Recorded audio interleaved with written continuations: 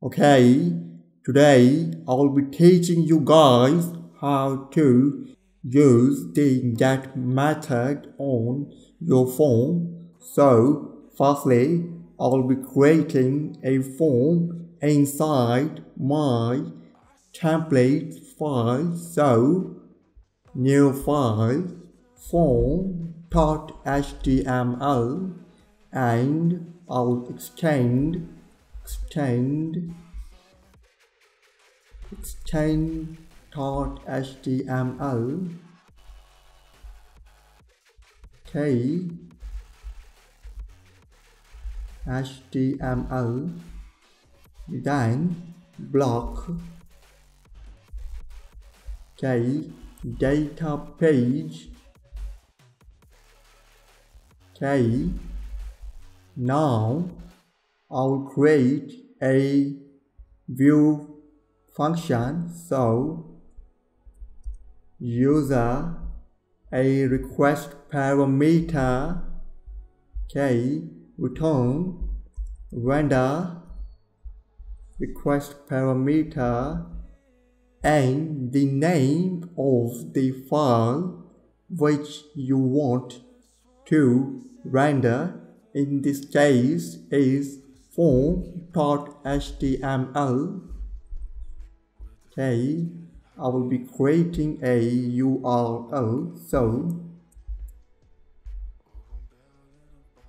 views dot user and the URL will also be user now run so new terminal inside my folder first. Now run python manage.py run server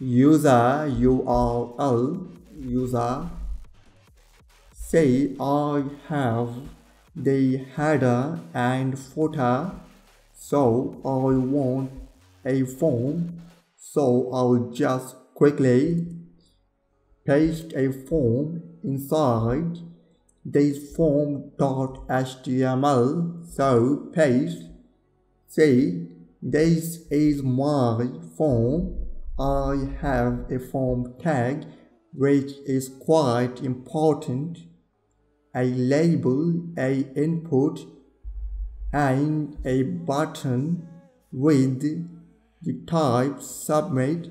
So I'll quickly give them name. So name equals val1 and the same goes for the second input field val2 okay now refresh. So this is my phone. So so what will I do? Basically I'll get data for these input fields using these names. So in my views, I'll be using the try and except method. So try,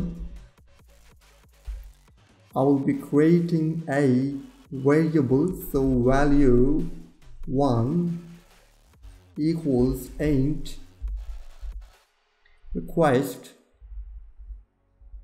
dot get dot get and the name of the input field which is val1 and val2 so quickly just type val1 and the same goes for the second one.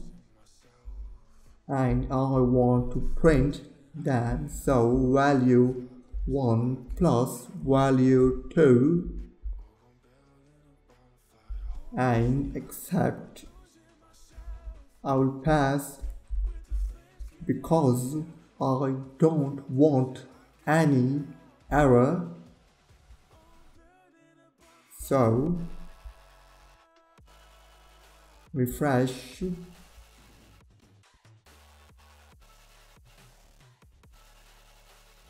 I have done a mistake so let's quickly fix it. Okay let's restart my server. So python manage manage.py run server okay. Refresh. Now add values. Value 1 is 2 and value 2 will be 10 submit the answer will be printed in my terminal. See 12 is printed out in my terminal.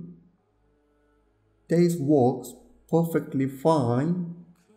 So now I want data to be printed inside my template. And for that I will be creating another input field so form.html and output or I will name it result and a input field so copy paste I will give it a value so value will be result so in my views I'll be creating a variable so in this function I'll be creating a variable which will be named as output equals 0 so and instead of this print I will remove print and write the name of variable which is output equals and remove this bracket k. Now I have to pass a dictionary inside my render so comma curly braces and the name of the value in my form which is result so quotes result colon and the name of the variable which is output output okay now refresh once again. So, see what will happen. Basically, whatever the output of these two input fields will be, it will be printed over here in this result input field. So, 10 and time which is 20 okay. Say 20 is printed out here thank you for watching. Please subscribe